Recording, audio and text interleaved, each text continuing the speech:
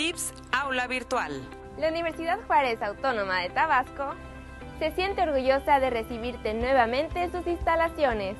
Durante estos años de distanciamiento social, los profesores han trabajado con herramientas tecnológicas y han construido materiales didácticos que contribuyen al fortalecimiento de nuestro aprendizaje.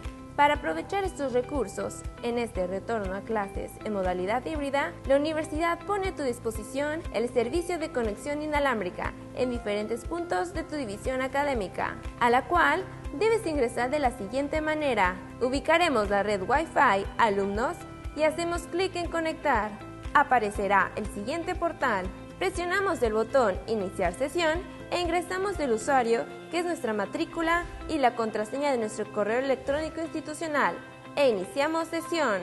Ahora estamos listos para realizar las actividades asignadas por el profesor.